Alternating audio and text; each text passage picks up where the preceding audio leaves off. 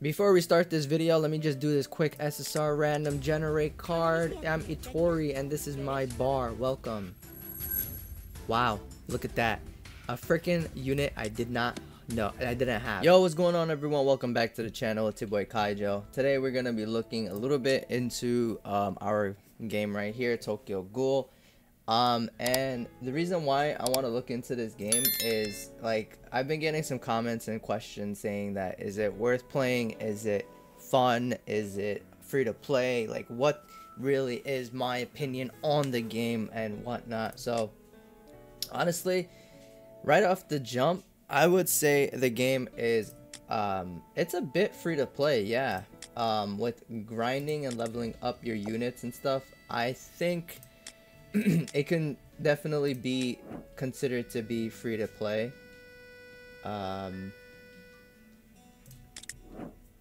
the reason why I say that is the way to play this game, you got to be really smart with what you do resource wise because if you're using your materials on every character and you're not building up the main character that you guys want to use, then it's going to be kind of it's going to be kind of hectic, okay? Um, obviously, there are a number of characters in this that are SSR, alright? And as you can see, I've pulled almost all of them. Um, I have five SSRs that I have not pulled. Um, Juzo, I didn't try on his banner. I'm not really looking into summoning for him. Um, I'm gonna just skip him. But don't get me wrong, Juzo has his ideals and his um, perks on some teams, and He's a very good counter for the blue units, especially because blue units are basically the meta of the game. They're basically running the game. But if you're not being um, smart with your resources, then you'll get to the point where you've used all of your resources and your team sucks. Your units are not strong. Um, for me, it started off because I didn't pull Kaneki, I didn't pull Arima, and I didn't pull Uta early on in the game. I got Rize and everybody else. The bottom lineup you see here, well, I had gotten them first. I got them first and I started working on them and then I was like, screw this.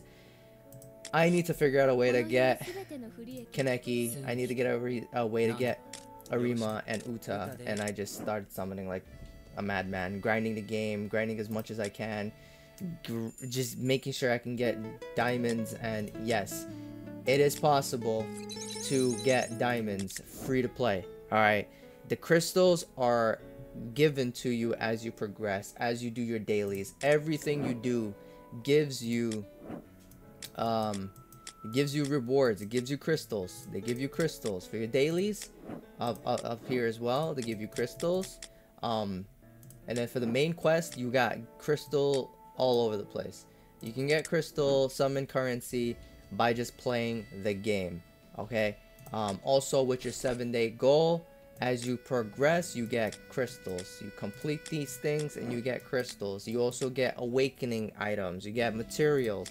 You get more crystals. You get um, stuff that you can do for limit break. Uh, you can get these that are uh, restoring your challenge attempts. That's universal. Um, you get summon tickets as well. By on day six, day seven, you'll get um, crystals that are pure energy to promote characters. Yeah, you'll be getting a lot of these things, man. And then down here, there are also goodies over here as well. So as you complete these in the days go by, you get closer and closer, you can get more materials, these two being the main materials that you can get, one for limit break and then one for getting an extra uh, um, increase on the star level for an SSR unit. So it is very much free to play. Now, should you play this game? 1000% yes. It is completely like 7 Deadly Sins Grand Cross. And honestly, I enjoy the gameplay style, the mechanic and everything. The gameplay is fun, okay? I enjoy it. PvP could be a little annoying, especially if you're starting off later than early because you didn't get an immediate jump on the game, but there's people that are like 200,000 plus and I still I still lose, okay? Um um so, the main question, how do you start the game and what's the best way to start the game? When you are first starting off for this game, please, I'm gonna let you guys know right now, please go for them. They are your goats and Uta. Okay?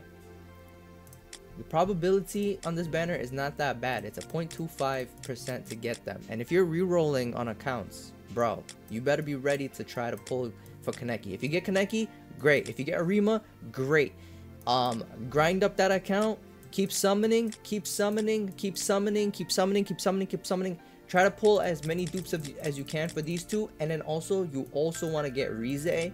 You can get Ayato. You can get um, Renji because he's a good back unit for a fifth unit. Uta, definitely. So your main three would be Arima, um, uh, Kaneki, and Uta. That's gonna be the base of your team. You also could get Rize, you can get um, Ayato, you can get, well, you get Hinami right off the rip.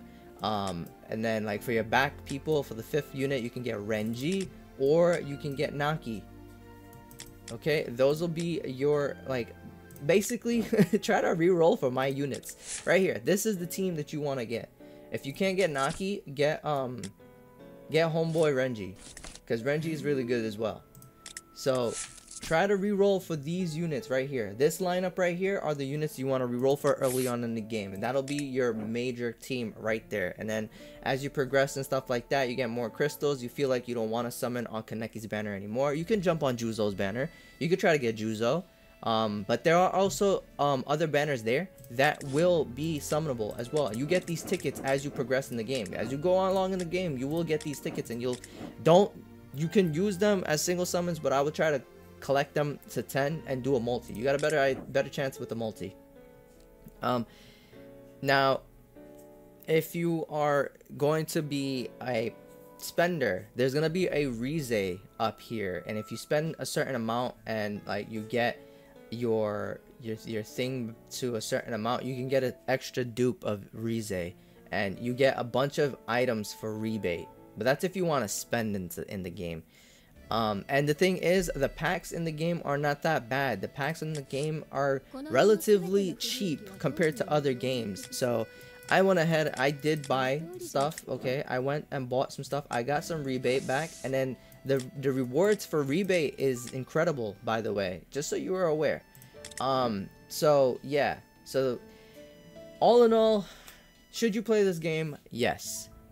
Is it free-to-play friendly? Super yes. Because again, there are uh, there are a bunch of things as you progress. You'll get assignments. You grind up your assignments, okay? You'll get to the intel market, grind these up as well. They'll give you a bunch of items that are awakening items, materials, um, and you'll get these bingo numbers as well. These bingo numbers, if you use them here, you can most definitely, uh, thank you.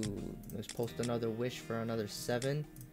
Um, you can, you can get rewards right here. So if I use this seven right here, boom, I get these two items right there. And then you get RC cells.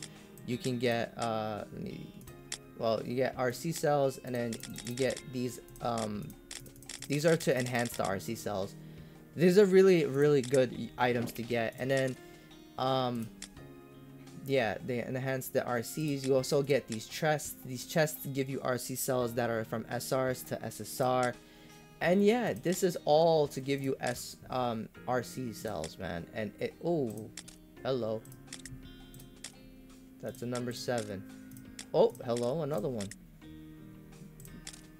so yeah, as you get these bingo cards, make sure you are looking at what the rewards are. You know, definitely put the A's in because you get a chance of getting a really good RC cell. Alright, I can leave those. Um, and yeah, it's, uh, look at that. I just did something, you go and you get also these right here as you go along, you get gems as well. This game feeds you gems. It's super free to play friendly. Trust me when I tell you that. And you also get summon tickets. Oh no, this is for Yamori. Oh, let me make sure I get this out for you guys. As you guys progress, you're gonna get, you're gonna get combat, boss, Yamori. This is like um demons demon raids in seven deadly sins and they give you awakening materials the best thing about yamori is you can um grind up your team and grind this up right here to get your units up. Um, get them to about level 60 or 65. And then you'll start needing to get these to UR your units. These are going to be able to get you um, characters to UR. I would 100% recommend you to do so, okay? And then these two are not that difficult, okay? If you can get someone to like um, play with you that are that's relatively close to the same CP as you or higher and can carry you, then that's really good. I would recommend in the comments you guys make friends with each other and like join a Discord or something like that and try to do your raids. If you want, you can join my Discord. I have some players already that are doing um, that's playing this game. You guys can raid with them. You can raid with me as well. You can invite me and I can help you guys with hard. 100% I can help you with hard. Hard mode is um, relatively it's difficult, yes, but I'm pretty sure we can get through it depending on what your CP level is. Um, everything else, as you go, you'll progress. So research, you get to a certain enhancement level, which I'm currently at 10.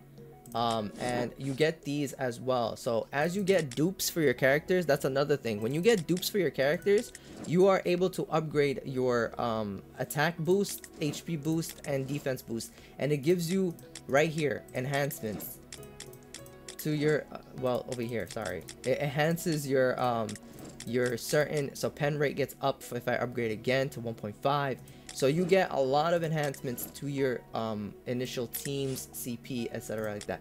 You get ultimate skin skills. You can upgrade all of these to level 3 that is the highest upgrade level.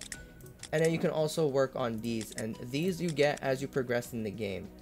All right? Um and yeah, these are all different ultimate attacks. So you got Kagune's attack, Might of Awaken. I think these are single targets, and Kagune's ultimate is AoE. So I would recommend doing that.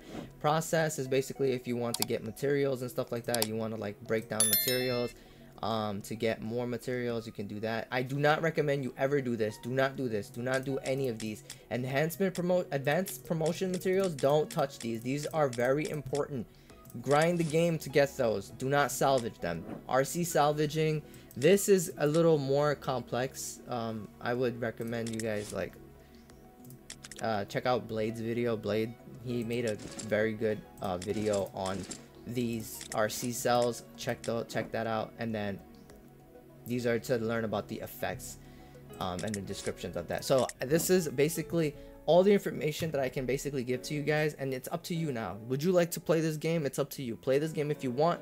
Um, as you progress as well, these give you amazing items and um, gifts as well. So, yeah, just look into the, as um, playing this as well. I can't beat hell yet because I think I need a hundred. Oh, I can definitely go for it now. Oh, I'm gonna try that now. Um, but yeah, as you go along, 100% man. Just play the game. It's very free to play friendly and you can see right off the bat like it's very free to play friendly man. I i can't really stress saying it enough. People are gonna be like oh it's another tokyo ghoul game and it's just a money grab. Not really man. Not really. I got far um in the uh, like leveling up my characters before i decided oh let me just try to see if i can get um Kaneki, Arima, and Uta. I had to basically get uh, to the end of the pity, which is the pity is 300 summons, by the way. It's not that bad. Um, and you can choose which character you want to get. So once you get to the pity, you choose which character you want. And every SSR is here for you except for Juzo. Alright? So I hope I helped you guys into, you know, thinking about whether you should play this game or not when it officially releases. Again, you can download it for Android using QooApp, okay? For iOS, it's more hard. You need to VPN, create an account, an iOS account in the region. So like, I think Taiwan or like Thailand or something like that. You can do somewhere around there, and then you can download the game. It's a very complex thing for iOS, but if you're an Android player, if you have an emulator, if you have a PC, if you have an if you have a tablet that's Android, Samsung, whatever, you can play this game by just downloading QooApp from the browser. Just go on your browser, on your computer or whatever, on your emulator, on your tablet. Type in QooApp, download, download QooApp, log in as a guest, type in um, Tokyo Ghoul, Break the Chains, and you can download it like that. For iOS, it's a whole different story. Alright guys, I hope you guys did enjoy this video and it was very in-depth into giving you guys an idea on how to play the game and stuff like that. Subscribe to the channel if you are new and make sure you got the post notifications on and